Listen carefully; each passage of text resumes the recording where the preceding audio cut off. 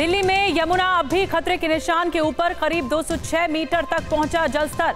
राजधानी के कई इलाके अब भी जलमग्न। अगले तीन दिन मूसलाधार बारिश का अलर्ट। दिल्ली पर प्रधानमंत्री मोदी ने उपराज्यपाल वी के सक्सेना से फ़ोन पर की बात। यमुना नदी में पानी और दिल्ली में राहत कार्यों की ली जानकारी।